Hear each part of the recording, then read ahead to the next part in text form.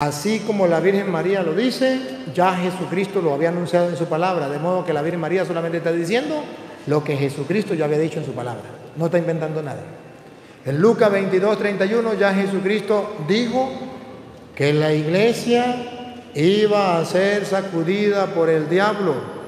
Cuando venga la división, usted no tiene que irse con un obispo, con un cura o con un cardenal. Usted tiene que mirar por quién rogó Cristo yo he rogado por ti, Pedro. ¿Qué está diciendo?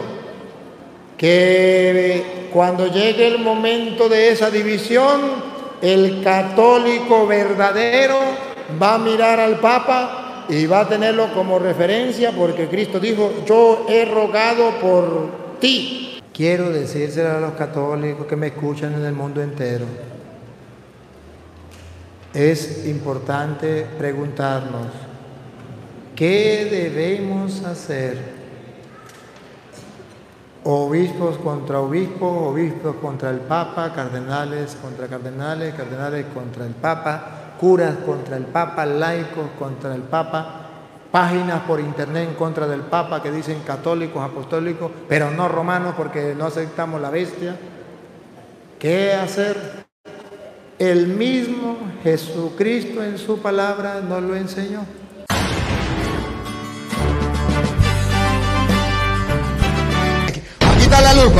Me padre me trae una lupa. Siga al padre Luis Toro en las redes sociales. En YouTube suscríbase y active la campanita e invite a otros a formar su fe cristiana con la palabra de Dios.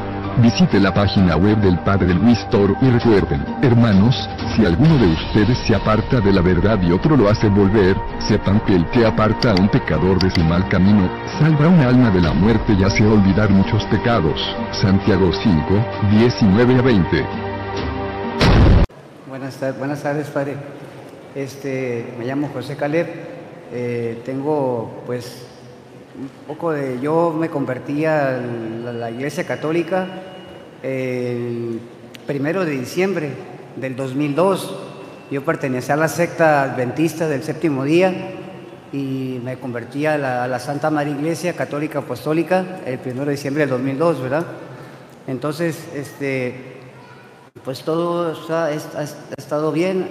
Además que le quiero preguntar yo este, qué hacer en este momento de, crisis que estamos viviendo en la iglesia. Yo veo canales católicos, de Axiprensa y cosas así, y, veo, por ejemplo, que se está cumpliendo lo que dijo Nuestra Madre Santísima en una profecía aprobada en Japón, que es aprobada por la iglesia. Eh, donde dice cardenales, y habrán cardenales contra cardenales, obispos contra obispos. Y, qué hacer ahí? Pues, ¿verdad? Porque esa profecía está aprobada por la iglesia, aquí está Japón. Y, qué hacer en ese momento, por ejemplo, cuando, eh, por ejemplo, hay un cardenal que no está, o, por ejemplo, lo que, pasó con los obispos alemanes, eh, amenazan al Papa diciéndole que, eh, que le den permiso de darle la, la comunión a los luteranos, o sea, implícitamente le están diciendo, permítenos pisotear a Jesús de Eucaristía. Le están diciendo eso implícitamente al Papa, ¿no? Entonces, ¿qué, hacer, José, en ese momento? Esa pregunta suya está muy buena. Y ojo, quiero decírselo a los católicos que me escuchan en el mundo entero. Es importante preguntarnos, ¿Qué debemos hacer? Obispos contra obispos, obispos contra el Papa, cardenales contra cardenales, cardenales contra el Papa, curas contra el Papa, laicos contra el Papa, páginas por internet en contra del Papa que dicen católicos, apostólicos, pero no romanos porque no aceptamos la bestia. ¿Qué hacer? El mismo Jesucristo en su palabra nos lo enseñó. Dos citas le voy a dar. Una, Lucas 22, 31. San Lucas 22, 31. Así como la Virgen María lo dice, ya Jesucristo lo había anunciado en su palabra. De modo que la Virgen María solamente está diciendo lo que Jesucristo ya había dicho en su palabra. No está inventando nada.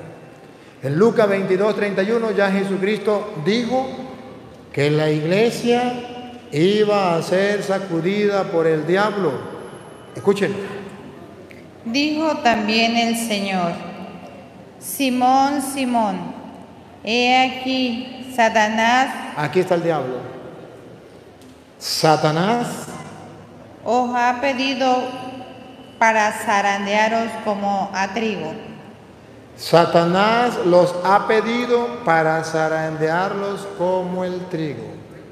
Aquí queda claro que Satanás tiene permiso por Dios, que Dios lo permite, que Dios eh, le aceptó eso para ver quiénes eran verdaderos católicos y quiénes no. Satanás pidió permiso para zarandearlos a ustedes como se hace con el trigo. ¿Cómo se hace con el trigo? Con el trigo se divide lo que es la semilla y lo que es la concha, la basura, la paja. Entonces, al zarandear para allí para acá, queda la semilla y pasa la paja. O si le echan aire, la pepa cae al suelo, aquí cerquita, y la, y la concha corre para allá. Divide. Satanás ha pedido permiso para dividirlos, como se hace con el trigo. Se separa la concha de la semilla. Y escuche lo que Jesucristo enseña. Pero yo he rogado por ti ¿Qué debemos hacer los católicos? Primero, saber que eso va a suceder. Segundo, que Jesucristo rogó por el Papa. Que Jesucristo no rogó por los cardenales y los obispos y los curas. Que cuando venga la división, usted no tiene que irse con un obispo, con un cura o con un cardenal. Usted tiene que mirar por quién rogó Cristo. Yo he rogado por ti, Pedro. ¿Qué está diciendo? Que cuando llegue el momento de esa división, el católico verdadero va a mirar al Papa y va a tenerlo como referencia porque Cristo dijo, yo he rogado por ti, no por los cardenales, no por los obispos, no por los curas, por ti. ¿Para qué? para que tu fe no falte. para que cuando esté la división y lo quieran chantajear y quieran hacer que el Papa haga cosas que no son, para que tu fe no te falte. Ahora, ¿qué tarea le dejó Cristo al Papa? ¿Para qué lo dejó en la iglesia? Para algo lo dejó. Y tú, una vez vuelto, Aquí viene la tarea. confirma a tus hermanos. ¿Qué tiene que hacer? Confirma a tus hermanos. ¿Qué tiene que hacer el Papa?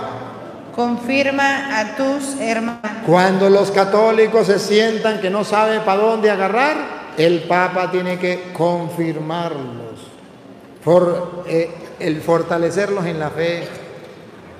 Tú tienes que confirmar a tus hermanos. O sea, que la única cosa que el católico tiene que tener presente es que cuando un obispo hable mal del Papa, ese obispo se está separando y está siendo zarandeado por el diablo como se hace con el trigo. Yo me quedo con el Papa.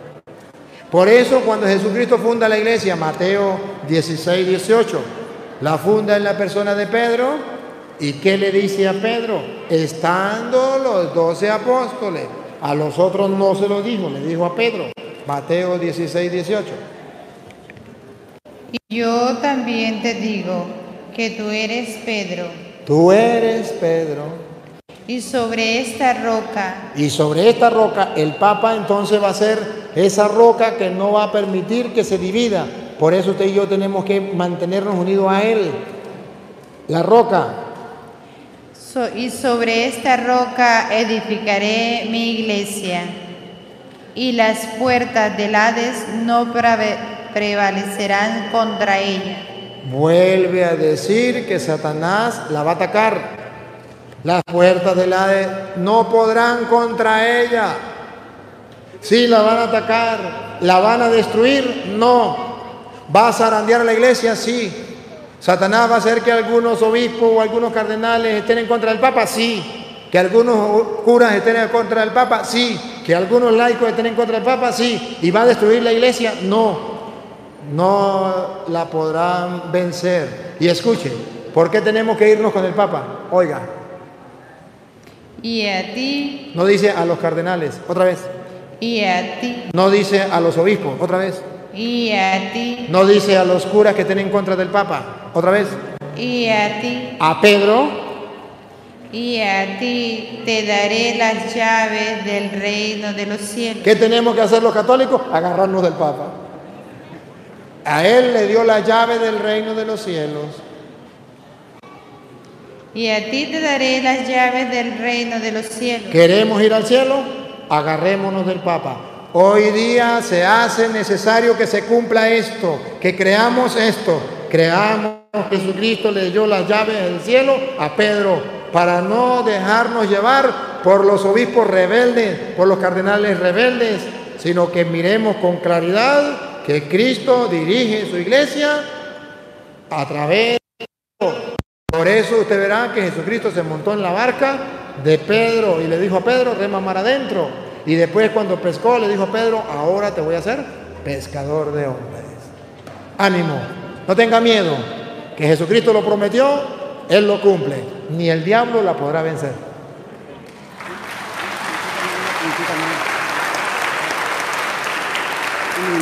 Por ejemplo, mis, papás, mis papás quedaron, eh, eh, ellos pues atrapados ahí, ¿no? En, en esa secta, ¿no? Y, cuando yo era chico, yo me acuerdo pues que ellos me decían eh, pues cosas que decía, compruébame la vida, porque yo, yo, yo empezaba ya a tener como, pues, yo me empezaba a llamar poco a poco ya hacia la iglesia, ¿no? Entonces, cuando yo me bautizo el 1 de diciembre del 2002 y recibo la,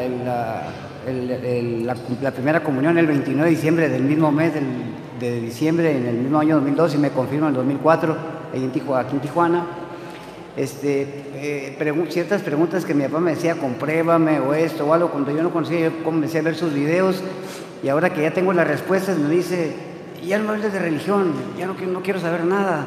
O sea, ya no quiere, ahora que tengo las respuestas que él mismo me pedía cuando yo no, no sabía, cuando yo no conocía de, de los versículos, libro, capítulo, versículo, y ahora que se los muestro me dice mi papá, no me hables de religión, no quiero saber nada.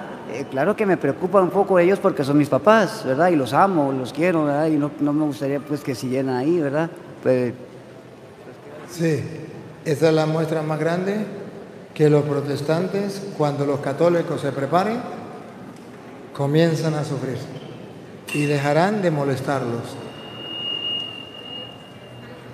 No, no tenga problema, ahora usted tiene que, así como él le cargaba la cantaleta, ahora sígalo usted hasta que le explique las cosas.